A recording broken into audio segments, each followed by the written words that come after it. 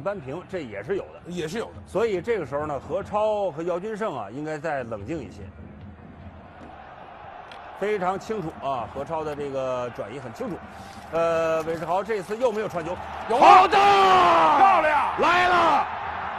李小明，三十四分钟，非常漂亮的包抄，哈哈，实是一个圆圆月弯刀啊！再看下坠，传的太舒服了，哎，传的很舒服。李小明呢，得奋力向前一蹬，嗯，哎，就蹭着那么一点点对，稍微一变线。而且好像还撞着立柱了。往常这个季节呀，呃，室外踢球完全没问题。今年有点异常，太冷了。哎，看左路这次进攻，横传打门有了，有了！杨立宇，啊，三十分钟，在这之前他策划的一次进攻，呃，就完成的不错。巴顿，巴顿呢带走了对方的中卫，这脚后跟出，脚跟磕的很清楚啊，出奇迹，倒三角，帅的传中。哎，我想起东亚杯当时杨立瑜给韦世豪助攻那个球，对，有点像，只不过是打的另外一侧啊。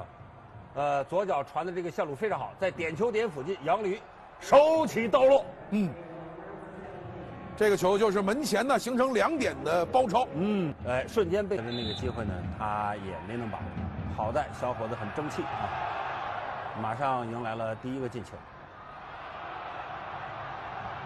左脚再传，头球，漂亮！哇，终于进球了！五十三分钟，韦世豪。